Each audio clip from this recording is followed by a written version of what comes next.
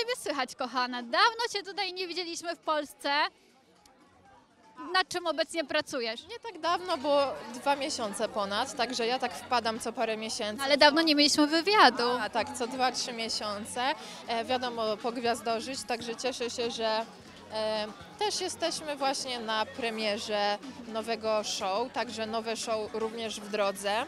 Nie mogę nic powiedzieć, ale ja nie spoczywam na laurach.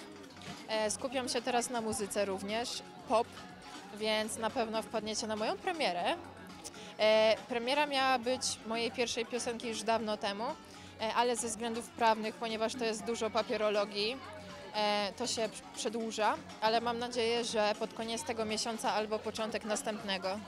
A o czym będzie ta piosenka? Czy możesz nam zdradzić w ogóle? Ja bardziej lubię właśnie takie słodkie, popowe gwiazdeczki z ogromną zadziornością i pazurem. Podoba mi się twórczość Ariany Grande, która jest słodka, ale bardzo taka sensualna i śpiewa wręcz o seksie. y, W, swoich piosenkach używa dużo slangu. Ym, I, I to mi po prostu dodaje takiego powera.